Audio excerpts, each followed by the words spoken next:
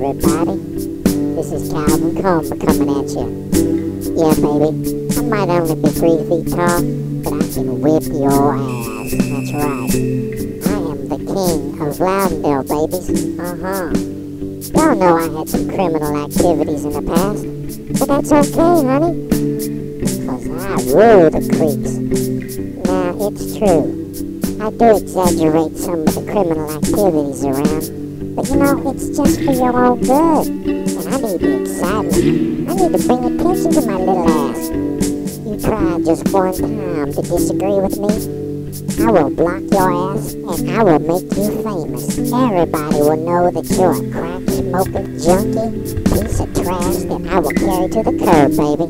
Now it's true, I do prefer to pick on little kids and women, but hey, baby, if I get you drunk enough or high enough, I'll whip your ass too. Y'all say hi to Bubba on the guitar. That's Bubba Leroy, Mama's very old big butt boy. We'd like to thank y'all for listening to Kalvin and the Creek Combers. Yeah, baby.